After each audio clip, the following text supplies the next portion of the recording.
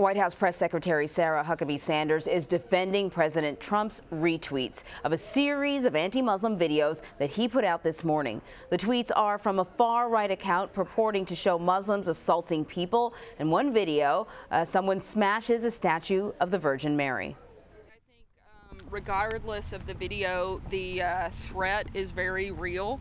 Uh, the president has talked about the need for strong borders and strong security uh, since the campaign trail. That's not a secret. That's something he's going to continue talking about and continue highlighting uh, in a lot of different venues and avenues.